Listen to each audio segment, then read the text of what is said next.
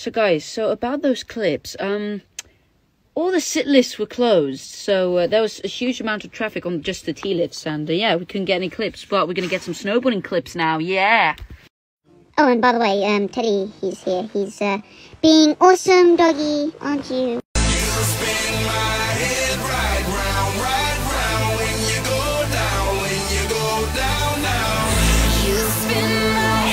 Good morning, guys. Today's another skiing day. You want to see some clips?